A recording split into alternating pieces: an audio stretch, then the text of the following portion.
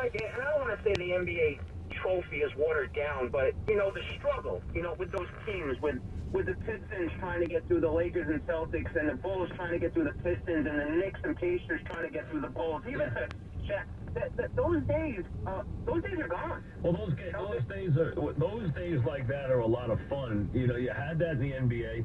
You had that a lot. You had that in in. Uh, in the 80s, you had that in the NFC in football, where I remember going year after year. I'll give you an example. Went out to San Francisco to do the San Francisco-Chicago NFC title game. The Niners shut out the Bears on their way to winning the Super Bowl.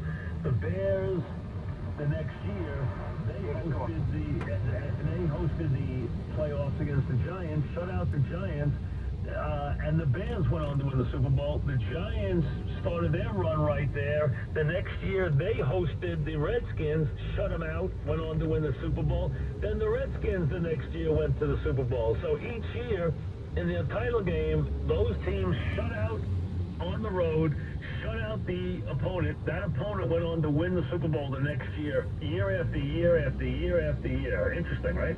And you had that where the Bulls couldn't get by the Pistons, as you said.